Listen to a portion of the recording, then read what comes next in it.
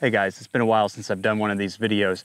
I wanted to discuss with you a little bit about the food crisis, the food crisis that really hasn't even set in compared to where it's headed next year. There are a lot of people who are still in denial about this. It's not their fault. A lot of the reporting that they've seen, a lot of the information that they have been given has been piecemeal to them or you know it's it's not something that people really retain. So in this video I'm going to cover a lot of this information cover a lot of key points and hopefully help you guys understand the gravity of the situation that we're headed into. Um, I just got done traveling across the U.S. filming. Uh, we, we work with a lot of uh, small farms. Well, I don't say just small farms, but um, farms and ranches across the United States. And um, one of the things that we kept hearing and, and was very noticeable on our drive was the condition of a lot of the crops across the United States. As you know, this year we've had a severe drought, which has had a dramatic impact on crops across the United States. Um, but one of the concerns that I have had and that I've mentioned on this channel over and over again, and I said when we get to September, watch for the uh, the September USDA reports because they're going to change everything, and and we've seen that happen. But uh, when we were out west, for example, we kept hearing from numerous farmers that the USDA uh, reports on stockpiles had to have been wrong at the end of 2021. Um, and the reason for that is when you look at uh, the the cash basis for corn purchases as the harvest is coming in. Normally, what you have is you have a lot of grains in the stockpiles, and so you'll see the cash basis a lot lower than the future prices of corn. The futures are what you see traded on the um, on the Chicago exchange. And, and instead, what we're seeing this year is we're seeing the cash basis much higher. You know, where corn is currently around $7 on the December contracts, we're actually seeing at, on the cash basis, uh, corn going for about $8 or, or more. On average out west, it's been about 40 cents higher than the futures price. Uh, a little, when you head east, it's a little different, but the East Coast has had uh, slightly better crops the last two years. Um, but we're really looking at our impacts from the drought, which is now going on to its third year. Um, I don't know how we're going to survive a third year based on what we've seen as far as crop losses this year. It has just kind of been a compounding issue because you've got this drought slowly expanding. Anyway, but the reason why the cash basis bids are so high and why they're over the futures prices is because the grain bins are empty out west. The grain bins are empty, which means that the stockpiles that were presumed to be there by the USDA last year were incorrect. And if you look at the USDA report from September 30th, they actually did adjust those numbers down. They were still, you know, about 1.7% higher than the year before, but they did adjust them down. Uh, and I think they're, they're going to have to make further adjustments. I've talked about this on this channel for years. Every September, you see this cut on uh, stockpiles, and that's because it becomes harder and harder to hide, especially when you have a cash, ba cash basis bid so much higher than the futures contracts. So that is something that you should all be concerned about. The grain shortage that is coming is going to be severe. Driving through Kansas, most of Kansas, most of the corn crops in Kansas were toast. Um, th there was nothing there. When you get into states like Missouri, I think Missouri is looking at a 30% decline in, um, in new stockpiles this year. So there, there are definitely some major cuts going through this, this year's harvest season um, and those stockpiles were completely diminished out west. The bins were empty. Farmers were bidding up above um, futures contracts to get grains back in their bins so that they could feed cattle over the winter and um, and whatnot. So uh, this is something that I hope you guys are paying attention to, and that you're you're starting to see it, you know, see what's going to be happening in 2023 and preparing yourself now. So I wanted to bring up several different points uh, for those who have completely missed uh, some of the activities of the past year. And hopefully, you know, some of these key points to our food supply will help you help register for you what's happening out there. The red winter wheat crop this year was the worst that it's been since 1963. It was a very, very small winter wheat crop. The difference though between 1963 and today is that back in 1963 there were only 182 million people in the United States. Today there are over 329 million people. So we've had the population nearly double since the 1960s, but we're seeing the worst uh, winter wheat crop that we had seen since that time frame. And this year is not going to be any different. The drought conditions out west uh, have continued to uh, gain momentum as we go into a third year of La Nina. So winter wheat this year is going to probably be just as bad as last year, if not worse. I think that as these conditions continue to compound, what you have to realize is that it's compounding on the soil as well. That soil is getting drier and drier. It's getting harder and harder to grow on. Rice crop in California is projected to be about 50% of what it was last year. Uh, this is a lot to do with the drought conditions again, but we're looking at a 50% decrease in rice production out of California this year. Looking at something like a tomato harvest, uh, the tomato harvest in the United States this year is estimated to be about 10.5 million tons. That's a, a million tons less tomatoes this year than an average year. I started out talking about corn. The thing about corn is that this year's corn crop is expected to be the worst that it's been in a decade. In fact, if you look at fresh corn shipments across the United States this year, it was down 20%. Another uh, crop that was down significantly this year in shipments were carrots. Carrots were down 45% this year. We talked about the potato shortage. Uh, the potatoes were year-to-date shipments were down 13%. Celery shipments down 11%. Total peach production in the United States was down 15% this year. I mean, these are all significant numbers. Three quarters of the farmers in the United States, so you're talking 75%, most farmers in the United States say that the drought conditions are impacting their crops. They're impacting their income, they're impacting their crops. The drought hasn't just taken its toll on crops either. If you look at the cattle industry, and I'm gonna uh, address the bison industry too, because I think that uh, these two industries have both suffered significantly. But if you look at the cattle industry, the total number of cattle in Oregon is down 41%. The number of cattle in New Mexico is down 43%. This is because these cows have been harvested and, and their, their, their herds reduced in size because of the drought conditions. They can't get water, they can't get grains. In Texas, cattle, uh, cattle are down over 50%. Um, there's actually some farmers predicting that ground beef prices could go up to $50 a pound. That's a significant amount of money that people would have to pay for ground beef. Why? Because we've harvested all the beef this year. The, the, the ranches have had to cut back on their herd sizes so much, it will take several years to get their herd sizes back up to where they used to be. And the bison industry, as I mentioned, is kind of facing the same scenario. We've gone to ranches this year where they've gone from about 4,000 head of bison down about 50% to about 2,500 head of bison. And they've done that because of the drought conditions. The, the grasses are growing slower. They have to manage their land. If they can't feed the animals, they can't hang on to them. And so they're predicting that uh, within two years, you're gonna see a bison meat shortage. And that the reason why there's a, a time frame there from when we go through this mass production phase and then when we can start seeing the actual shortages hit the shelves is because um, right now you're harvesting a lot more beef and, and bison and meat than you would normally harvest to try and reduce the herd sizes to save yourself from drought. That's, a, that's flooding the markets with more meat than what would typically be on the markets. And as you know, the way supply and demand works is that when supply hits harder, um, the, the cost of things go down against the, the demand line. Um, demand has actually been going up, which is why you haven't really necessarily seen a price break at the grocery stores because the demand is actually rising each year. And so what's scary is that we're actually over harvesting this year. Prices are still going up when you when you do the math and you really put this all together over the next couple years when there's a supply glut because of what we've gone through this year and if if this current La Nina trend continues uh, far enough into next year we could see it continue into next year. Um, but when you when you see how this system works, within the next year or two, you're going to start seeing those shortages on the shelves. And when those shortages hit the shelves, the prices are going to skyrocket.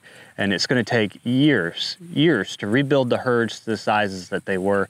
Um, in the bison industry, it could take years more than, than the cattle industry because uh, bison typically don't reach reproductive age for a couple of years. But um, we're going to have to see a, a major adjustment in, and I think across the board in the meat industry because of the herd size reductions this year. And next year, I think we're going to see a lot of those herd size reductions when it comes to chickens. When it, we've well, we saw some of that this year with the bird flu um, when it comes to pigs because of the, the cost of grains. There, there literally are no grains.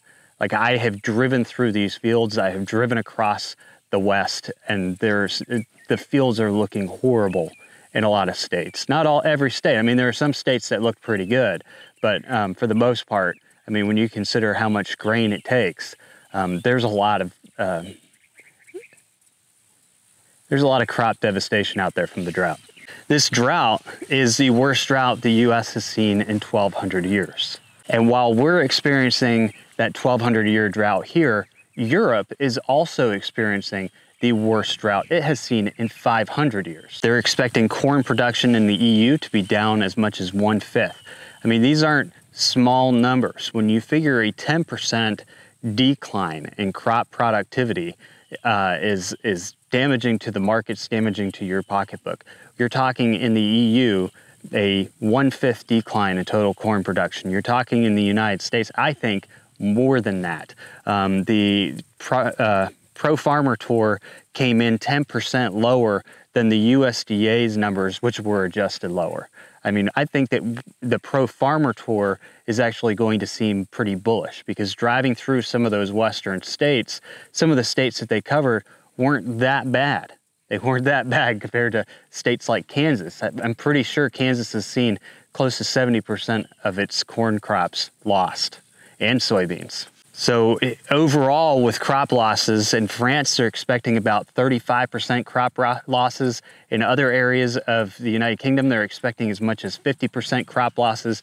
And the the other problem that you have over there in Europe is that they've gone to this green indoor farming where they've been able to grow a lot of plants and, and vegetables inside. Um, and that industry has also been shut down due to the high uh, cost of uh, gas and, and and the energy that it requires to operate those indoor greenhouses. I mean, the, the concept was if we grow inside, we have a controlled environment, we're not polluting, it's better for the earth, and now they're getting shut down because the energy costs are so high.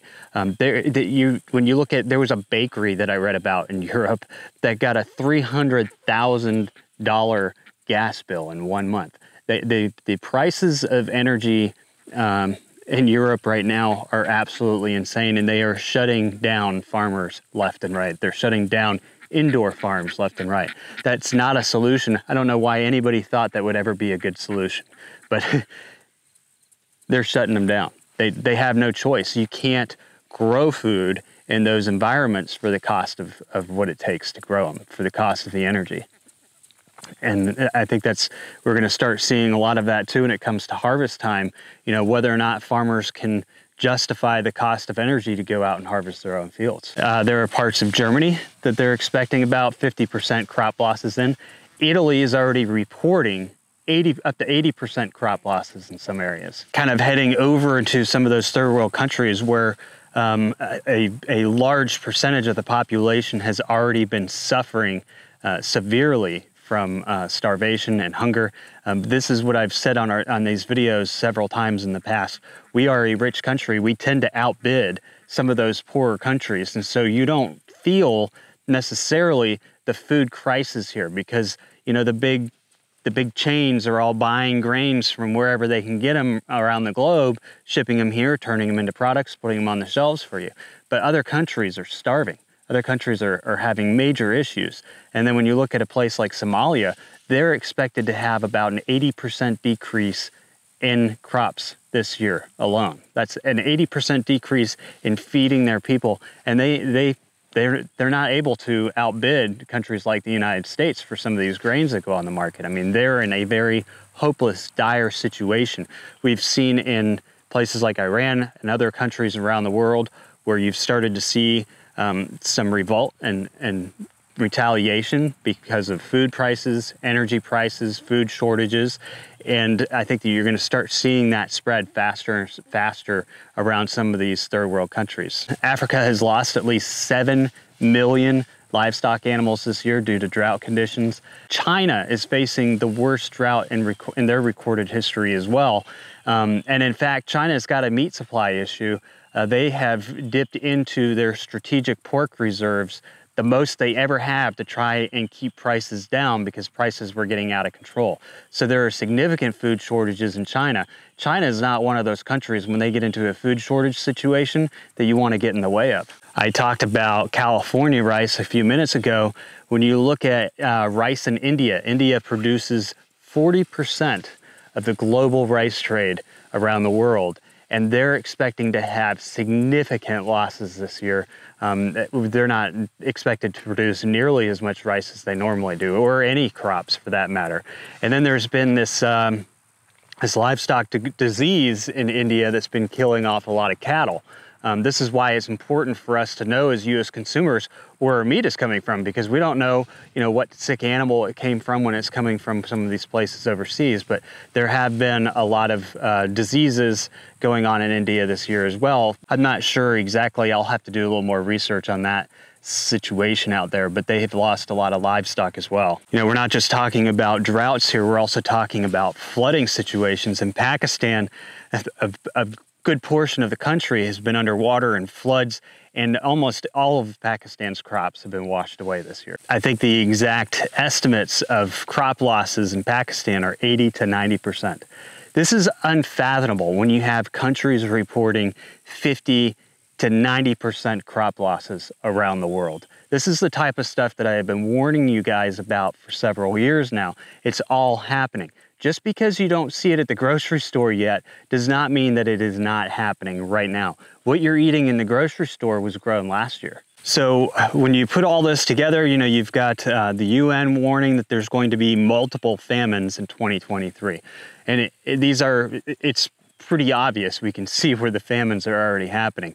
There, it would not surprise me that we see significant food shortages here in the United States. There was a recent survey that said that uh, grocery shoppers in the United States, the, the amount of credit, personal credit being used to buy groceries has gone up 95%. That means that people are buying more and more groceries on credit card. Um, the cost of fertilizer continues to be out of hand and going higher. The World Food Program is saying 828 million people, that's nearly one eighth of our planet, is going to be having uh, is going to be going to bed hungry uh, in 2023. And I think that number is actually going to be a lot higher. I think we're, we're I think we're looking at about 25% of the population of this planet in 2023 at some point having food shortage issues. So guys, these are real issues. These aren't things that were caused by Russia's invasion of Ukraine. If you noticed, I didn't even address the grain situation coming out of Ukraine. That's another uh, one of those uh, one of those issues that have come up over the past year that are causing food shortages for everybody. That's causing a lot of energy shortages. I guess I brought that up a little bit with um, the energy crisis in Europe. Um, luckily, we're, we're selling as much of our oil overseas as we possibly can to help everybody out. But my point is, is that this is a global crisis that's hitting everybody. Um, and I, the reason why I've been warning about this for several years is because not because of climate change. Um, the climate does change constantly. A lot of people call me a climate denier. I, I don't deny that the climate changes regularly. Um, but with the patterns that I've seen, the natural patterns of our climate cycles and where they've been heading over the past couple years, it would appear that um, what we're seeing now is only the beginning of a longer trend, a longer trend that's going to last for a longer period of time. And if we can't make it past this year, with growing crops. I mean, we've our stockpiles were wiped out last year. That's why out west you're seeing the cash basis bid so much higher than the futures contracts. And I think if you look across the board at several other crops, you're going to see similarities there. Once we run out of the stockpiles, once we run out of the pre-made pre preserved foods that we've had, um, the, the situation is going to snowball more and more out of control. We're already seeing numbers being adjusted on a regular basis to the downside. Um, the, the thing that worries me is that there's going to be another type of distraction, you know, whether that's the, the war with Ukraine getting more out of control. I think Dr. Dr. Fauci said the other day that there could be a, a COVID uh, virus this winter that would be worse and more deadly than the one before. There's going to be some sort of distraction to keep us distracted from coming to terms with the reality of what's going on out there. the only way that you can really avoid being impacted by these this coming food crisis is to in some way supplement your food with food that you can grow on your own.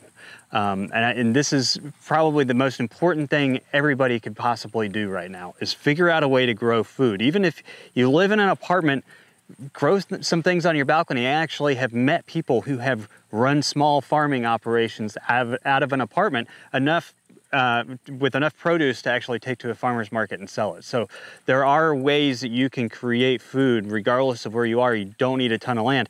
Anything that you can grow to help offset your grocery bill is going to save you with hyperinflation. Hyperinflation is coming, and and if you've noticed, we've been um, we've been kind of dipping into a recession. Prices prices have still been going higher. Um, this is the type of stagflation, hyperinflation that I've been warning about on this channel all year, uh, well, the last two years. Um, so grow some food, grow some food to cut back on your grocery bill, grow some food to make sure you don't go hungry or, or end up starving. Um, we've heard a lot of people talking about synthetic foods over the past couple of years, the development of those foods. We know that the United States government has worked on programs through DARPA to develop food from waste, 3D printed food, and make it tasty and tolerable. Um, that is for the event that we are out of food. So it's been pretty obvious that there is a food crisis coming and what the alternatives to eating real food are. Um, and they're not necessarily good. They're not fantastic for you. We've also learned a lot of things about synthetic foods and, and how bad they actually could be for you. But when there is no other alternative, um, you know, at the end of the day, the government's going to try and supply people with something. And, and the other part of that is controlling food production, food trade to make sure that um, things are fair, so to speak. So that I think could impact a lot of you who are able to grow your own foods. You, you know, the rights to do that, your food sovereignty in and of itself could be threatened as we head deeper into this crisis. But if everybody started working now to try and grow some food. Um, I think that a lot of it could be averted, but it, it's, you know, how do you convince a bunch of people who could hear everything that I've just said on, on, on here today, which isn't even including, you know, the, the, the food facility fires and things like that. It, they've, they've heard all of these things. They've seen it on the news. They've, they've gotten pieces of the information. Maybe it hasn't all been laid out to them all at once, but how do you convince them to go out and grow food when they're still not convinced that there's a food crisis, that there's a food shortage? Next year is going to be the worst that we've ever seen. If people don't start taking actions over the wintertime, preparing for the spring to get these things in the ground, by the summertime, there's going to be a lot of starving people, even here in the United States. Um, there's just not enough grains. As we head into this third year of La Nina, um, we're going to start seeing those impacts again in South America. There is not going to be a good crop for anybody that's going to lift the world up and help us move forward. I mean, it's just, it's not there. It's not in the near future. Um, and like I said, I think that these patterns are going to continue for uh, quite some time when it comes to the weather. I think that there is a natural cycle that we've seen before, which is why we've seen this drought 1,200 years ago, which is why Europe has seen this type of drought 500 years ago. And I think that these conditions could last for quite some time before they actually improve. Um, it's rare that you see a th third year of La Nina back to back like we're seeing now. It's happened before about a century ago. It hasn't happened uh, in the last hundred years. So that should tell you something as well. These are patterns that repeat themselves, the way I could describe what we're heading into is kind of like the severity of all of these patterns uh, combined. Now, if you're somebody who's concerned about global warming or you know you're focused on all of those other things that you think is causing you know all of this, I would encourage you to actually research some of those cycles and maybe you know who knows somebody can can research the you know real natural cycles and and plug in you know CO2 into the model and see what happens. It might, you know, go straight up. Anyway, get out there and, and start to grow something. Start stocking up on seeds now because there's gonna, there's gonna be a shortage by the time we get to the spring. Heirloom seeds are the way to go. Um, the reason why you want heirloom seeds is that because that seed has had 25 generations before it of proven cycles, which means that your chances of crop losses with heirloom seeds are actually much lower. That and those seeds are more likely to be able to produce a, a new generation of seeds, unlike you know some other seeds, some of the the non-heirloom seeds. So um, there are a lot of things that I, you know, I don't spend enough time talking about what you can do to prep on this channel. Part of that's because of, you know, the amount of work that we have to do, but there are a lot of things that you can be doing. And, um, I, you know, if there's a way that you can start convincing those around you to do the same, do it because it's better for all of us. The, the less people there are walking around ready to eat somebody else, uh, the better off we're going to be. So the more people that we can help understand that there is a major food crisis, um, this is something that's come straight from the UN, there will be multiple famines in 2023. Some of those famines I think are going to impact the Western world. I don't think we're going to be as far removed from it in 2023 as we have been in 2022 and 2021. It has reached full circle, and the countries that um, if, when you look around the world and you start seeing these thir third world countries um, go into more and more, you know, revolts and, and retaliations over things like the cost of energy and the cost of food, you'll start to see that spewing over until you get into some of the larger countries, some of the richer countries. Um, China, like I said, is, is in dire straits right now. They've been tapping into their pork reserves. They've been facing one of the worst droughts they ever have. Um, and when that happens, China's going to start looking for resources elsewhere. And they've got enough power to do it. So um, these are all things that we should be concerned about as we go into the end of this year. We start planning for next year. Think about it. Don't be an idiot. Don't don't look around at the grocery store and say, "Oh, there's no food shortage. You're full of BS." I'm not full of BS. It's here.